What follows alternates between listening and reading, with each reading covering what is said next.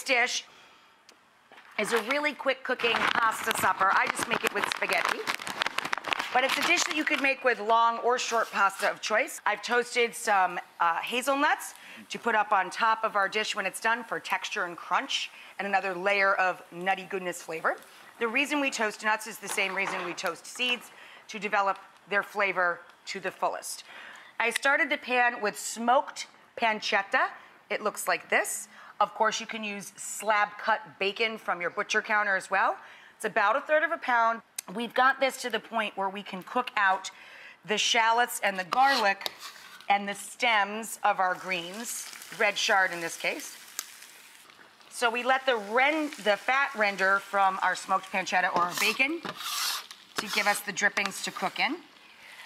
And I saute the stems a few minutes in the bacon drippings to soften them before we wilt in the greens at the end. And now we can add the garlic. We don't want to add the garlic too early. The garlic will singe and bitter and get hard, okay? Okay, so when we stem greens, uh, I like to call it a cat's paw. You make kind of a cat's paw and you just claw them like this. Now I find that flat kale it's too fibrous and it's, it's practically hollow, the stems. But chard stems are delicious. So I chop them up and I saute them first, roll them up a bit, and then just run your knife through them into a thin shred so they marry really beautifully like ribbons wrapping all through the pasta and the creamy ricotta. A uh, little salt and pepper on this, more pepper than salt because we're getting salt out of the uh, bacon or smoked pancetta. Give our pasta a little zhuzh over here. And now we're going to add our greens to our stems for our beautiful red chard.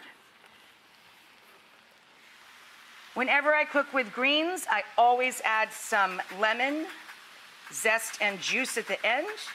Freshly grated nutmeg highlights the flavor of both dairy of any kind and anything dark green. And just wilt these into the pan when the pasta's just about ready.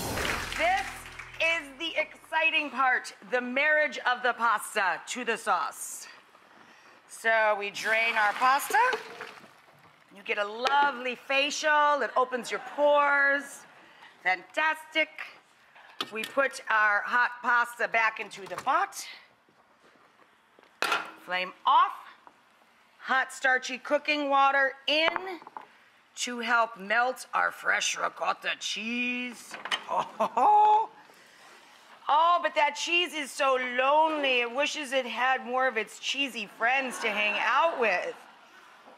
Let's give him some buddies, like some pecorino and parm. Don't tell my mother I used my teeth to do that. Rachael, don't use your teeth. Parmigiano is cow's milk very nutty, buttery cheese. Pecorino is sheep's milk, so very tangy cheese. And I say, why decide which one you love more when they so clearly can hang out together?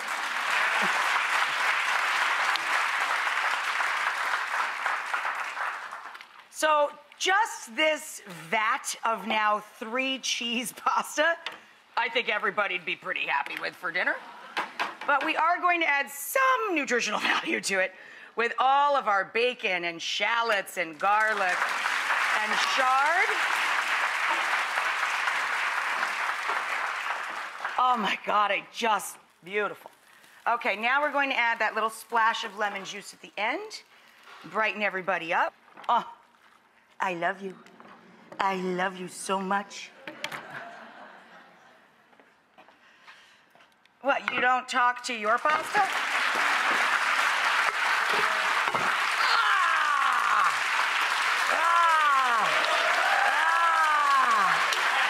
Ah! I am strong.